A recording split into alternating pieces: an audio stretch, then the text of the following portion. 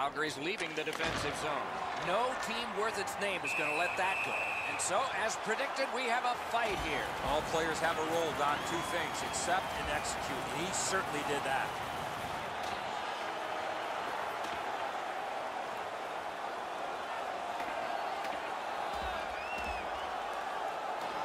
Wow!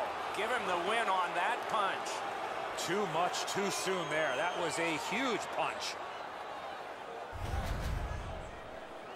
More times than not, you drop your gloves like that, you're going to spend at least five minutes in the box.